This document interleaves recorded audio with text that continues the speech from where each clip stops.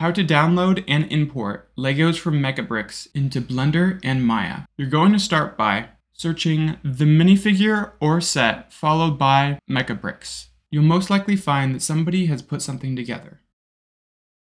Click on Edit and it will take you to the Mecabricks workshop.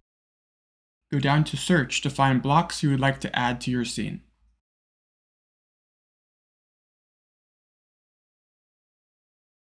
To snap your blocks together, select the point that you would like snapped. Go up screen right and select the magnet icon. Then select the point you would like it to snap to.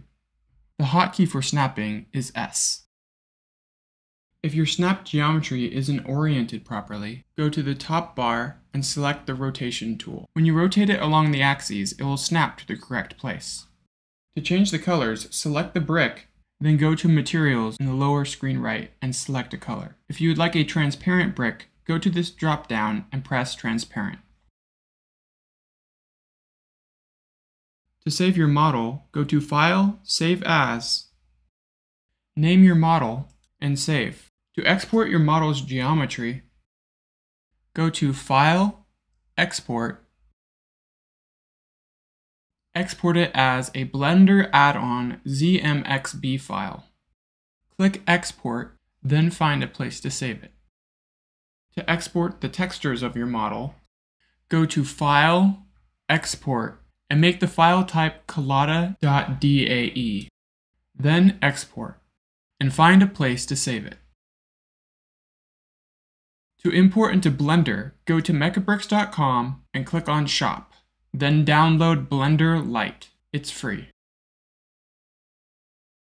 Download into your PC in your program files.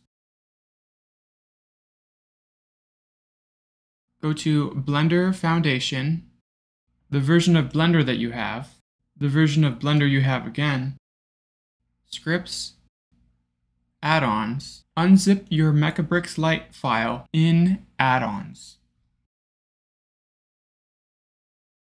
Go back to your Blender file, right click Blender, and open as administrator.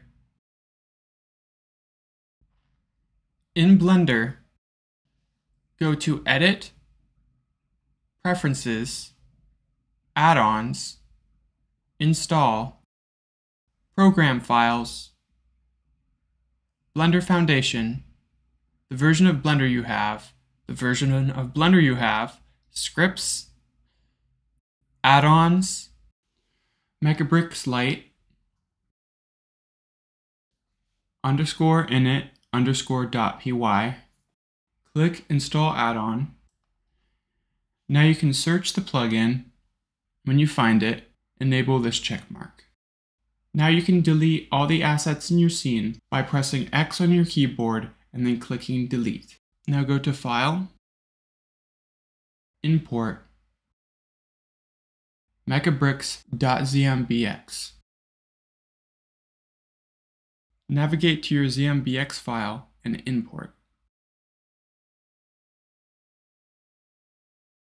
Now go to File, Export, FBX. Name it, and export. Now you can close out of Blender and open Maya. Now you can go to Windows, Settings slash Preferences, Plugin Manager. Search for FBX and check on Game FBX Exporter in Loaded and Auto Load and FBX Maya in Loaded and Auto Load. Go to File, Import, navigate to your FBX file, and import. Since this is coming from Blender, you'll get this notification, just hit OK. Go to your perspective camera, and you'll see the geometry is quite big.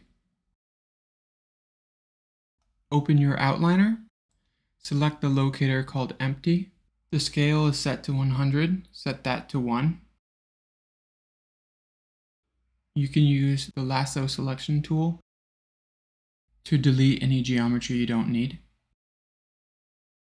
In the viewport toolbar, go to show and hide the locator. so it doesn't get caught in the selection. To center your minifigure, select it. But if you try to move it, the geometry will go everywhere. So select the translate value in the channel box and move it to the center. Shift select the hips last. Go to the top toolbar and select snap to grid. Now you can snap your character to the center of the scene.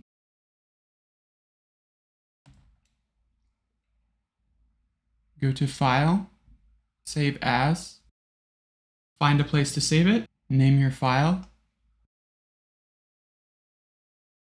save it as a Maya ASCII, and save your scene. Please check out my Patreon or subscribe because it's free just like these videos. Like, share, and comment if this was helpful. Dislike and comment if it didn't work and I'll fix it for you.